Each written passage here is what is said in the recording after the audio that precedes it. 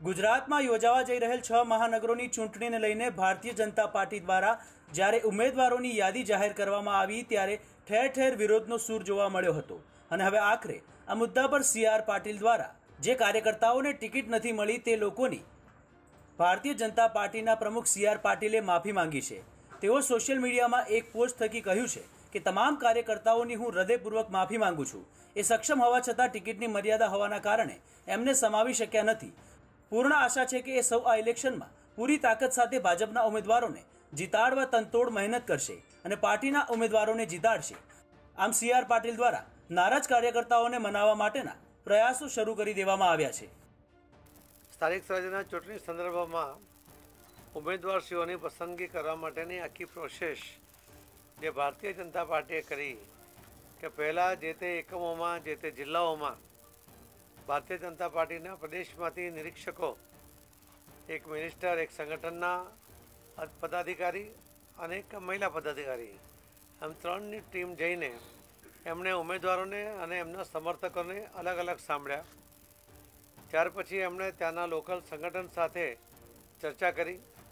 એમાંથી દરેક સીટ માટે ત્રણની પેનલ બનાવી અને એ પેનલ લઈને એમણે પોતે સંકલન કર્યું.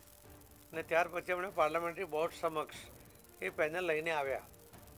પાર્લામેન્ટરી બોર્ડે ખૂબ ચર્ચા વિચારણા કરી, જરૂર હોય ત્યાં ફરી સંગઠન સાથે ચર્ચા કરી અને ઉમેદવારોની યાદીઓ તૈયાર કરવાનું કામ પારદર્શક રીતે અને લોકશાહી રીતે એ કરવામાં આવ્યું.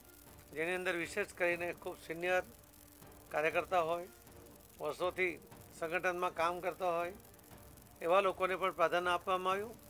સાથે સાથે યુવાનોને પણ એટલું જ પ્રાધાન્ય આપવામાં આવ્યું છે અને બહેનોને પણ એટલું જ મહત્ત્વ એમાં આપવામાં આવ્યું છે.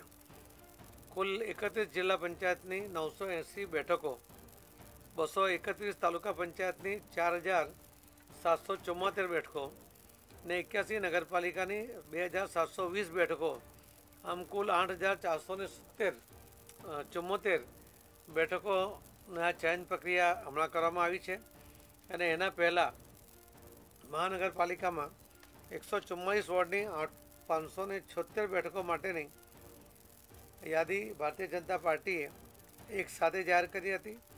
એમ કુલ ત્રણસો ઓગણપચાસ એકમોના કુલ નવ હજાર પચાસ ઉમેદવારો કુલ થયા છે. દરેક સીટ ઉપર એવરેજ વીસ જણે, એક સીટ માટે લગભગ વીસ જણથી વધુ કાર્યકર્તાઓએ ટિકિટ માંગી છે. એ રીતે જોવા જઈએ તો લગભગ બે લાખ લોકોએ અને કાર્યકર્તા અને આગેવાનોએ પોતે આ ચૂંટણી લડવા માટેની ઈચ્છા વ્યક્ત કરી હતી અને કદાચ એક રેકોર્ડ કહી શકાય, એટલા લોકોએ એક સાથે આ ટિકિટની પ્રક્રિયામાં પોતે ભાગ પણ લીધો હતો. અને એમાં મહત્ત્વની વાત એ છે કે ભારતીય જનતા પાર્ટીએ પાર્લામેન્ટરી બોર્ડમાં નક્કી કરેલા નિયમો કે જે કાર્યકર્તાના ત્રણ ટર્મ એ ચૂંટાયો હોય એને ટિકિટ આપી અને હારી ગયો નથી ગણતા. પણ એને ટિકિટ આપ્યા પછી ચૂંટાયો હોય એવા ત્રણ ટર્મ. કોઈપણ પાર્ટીમાંથી ચૂંટાયો કે અપક્ષ ચૂંટાયો હોય કે ભાજપમાં ચૂંટાયો હોય, એને ચોથી ટર્મ માટે રિપીટ નહીં કરવા. એવો નિર્ણય કર્યો હતો. સાઠ વર્ષથી વધુ ઉંમરના કોઈપણ આગેવાન કાર્યકર્તાને ટિકિટ નહીં આપવાનો પણ એક નિર્ણય કર્યો હતો. કોઈપણ પદાધારી પદ, પદાધિકારી કે સાંસદ, ધારાસભ્યો એમના કોઈપણ સગાવાળાને ટિકિટ નહીં આપવાનો પણ નિર્ણય એ ભારતીય જનતા પાર્ટીના પાર્લામેન્ટરી બોર્ડમાં થયો હતો. એનું ચુસ્તપણે પાલન મહાનગરપાલિકામાં પણ થયું છે અને સ્થાનિક સ્વરાજ્યની નગરપાલિકા, તાલુકા પંચાયત અને જિલ્લા પંચાયતની સીટો ઉપર પણ આ જ પ્રક્રિયા પૂર્ણ કરવામાં આવી છે. મને કહેતા આનંદ અને ગર્વ છે કે ભારતીય જનતા પાર્ટીના આ કાર્યકર્તાઓએ શિસ્તબદ્ધ રીતે પોતે આ નિર્ણયને વધાવ્યો એને આવકાર્યો અને એના સમર્થનમાં અનેક લોકોએ પોતે પોતાની દાવેદારી પણ પાછી ખેંચી કે પોતાના સગાવાળાની પણ દાવેદારી એમણે પાછી ખેંચી લીધી છે. રાજકોટ મહાનગરપાલિકામાં તમામ એકસો ચુમ્માલીસ વોર્ડ તમામ અઢાર વોર્ડના બોતેર ઉમેદવારોએ એક સાથે એમણે બાર બાર ઓગણચાલીસના સમયે એક સાથે ફોર્મ ભર્યા અને એક એકતાનું અને શિસ્તબદ્ધ કાર્યકર્તા તરીકેની જે ભારતીય જનતા પાર્ટીને જે ઓળખ છે, એને સાબિત કરી. ગઈકાલે સુરતમાં ત્રીસ વોર્ડના એક કાર્ય કાર્યાલયોનું એક સાથે વર્ચ્યુઅલ એનું ઓપનિંગ કરવામાં આવ્યું. એની અંદર પણ દરેક કાર્યાલયમાં પંદરસો, બે હજાર, અઢી હજાર એવા કાર્યકર્તાઓ અને સમર્થકો હાજર રહ્યા હતા. ને રીતે જો જોવા જઈએ તો સાઠ, સિત્તેર હજારથી વધુ લોકોએ આમાં સ્વયંભૂ ઉપસ્થિત રહીને ઉમેદવારોને એમણે શુભેચ્છા આપી હતી. પંડિત દીનદયાળજીની પુણ્યતિથિ નિમિત્તે આવતીકાલે અગિયારમી ફેબ્રુઆરી એ સમર્પણ દિવસ તરીકે ભારતીય જનતા પાર્ટી ઉજવે છે.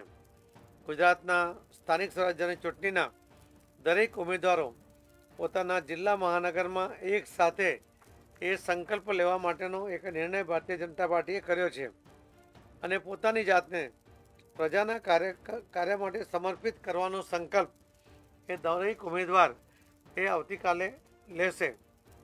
આવતીકાલે અમદાવાદથી અમદાવાદના કાર્યક્રમમાં આદરણીય મુખ્યમંત્રી શ્રી વિજયભાઈ રૂપાણી સાહેબ, નાયબ મુખ્યમંત્રી શ્રી નીતિનભાઈ પટેલ સાહેબ અને હું આમ ત્રણ જણા હાજર રહીને આખા રાજ્યના તમામ ઉમેદવારોને વર્ચ્યુઅલ અહીંયાથી અને એ લોકો સ્થાનિક જગ્યાએ એક જિલ્લાના એક એકમ પર એક સ્થાન પર ભેગા થઈને આ સંકલ્પ લેશે અને પોતાની કટિબદ્ધતા ભારતીય જનતા પાર્ટી માટે અને લોકો માટે છે એની પ્રતિતિ કરાવશે. મને લાગે છે કે જે રીતે લોકશાહીનું જતન ભારતીય જનતા પાર્ટી અને એના કાર્યકર્તાઓ કરે છે, ખરેખર એક અપ્રતિમ દાખલો ફરી ગુજરાતે પૂરો પાડ્યો છે. એના માટે હું સૌ ભારતીય જનતા પાર્ટીના આગેવાનોને અને કાર્યકર્તાઓને ખૂબ ખૂબ અભિનંદન આપું છું. જેમની પણ ટિકિટ કપાઈ અથવા તો એમને ભારતીય જનતા પાર્ટી ટિકિટ નહીં આપી શકી, એવા તમામ કાર્યકર્તાઓની માફી માંગીને એ સક્ષમ હોવા છતાં પણ ટિકિટની મર્યાદાઓને કારણે અમે એને સમાવી શક્યા નથી, એટલા માટે એમની માફી પણ માગું છું અને એમની અપેક્ષા પણ કરું છું કે લોકો આવનારા આ ઇલેક્શનના કાર્યમાં પોતાની પૂર્ણ તાકાત લગાવીને ભારતીય જનતા પાર્ટીના ઉમેદવારોને જીતાડવા માટે તનતોડ મહેનત કરશે અને પાર્ટીના ઉમેદવારોને જીતાડશે. ધન્યવાદ. એવા નંબર ઓફ ફિગર કોઈ છે કે પણ નિયમોના કારણે પોતાની દાવેદારી પાછી ખેંચી પાર્ટીના નિયમોને માન્ય કોઈ આંકડો છે? હજુ એ આંકડો નથી આજે પણ એ તમને આપી દઈશું અમે. એ મળી જશે. એમાં સાઠ વર્ષના ઉંમરને કારણે છે આપણી પાસે? આવી નથી ને બધા મહાનગરપાલિકાનું કુંભાર કે છે. સાઠ વર્ષના આયુ મર્યાદાને કારણે ત્રણ ટર્મને કારણે સગાને કારણે અલગ અલગ કેટેગરીમાં જે લોકોને ટિકિટ નથી મળી, એની સંપૂર્ણ વિગત પણ આપણે આપી દઈશું.